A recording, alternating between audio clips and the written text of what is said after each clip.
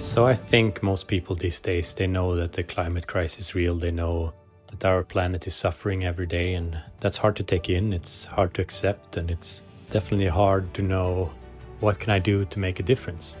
I didn't know. I'm not a politician. I'm definitely not a scientist. I'm just a chef. And then I started working at Lilla Bjers and I saw how things could be done differently. Göran and Margareta, the owners, they choose at the very early stage to go from being a conventional farm to being an organic farm. And with biodiversity came all the benefits. And it just became so obvious. And we became more than farmers, we became more than chefs, and we started becoming ambassadors. Ambassadors that could talk to our customers and our guests about the importance of organic, taking care of your soil and your nature. And we started reaching out.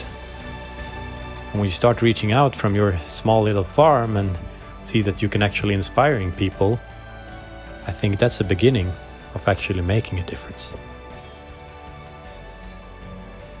My name is Alex Vuk, I'm the head chef at Lilla Bjers and we are so happy here at the farm to win the award of the EU Organic.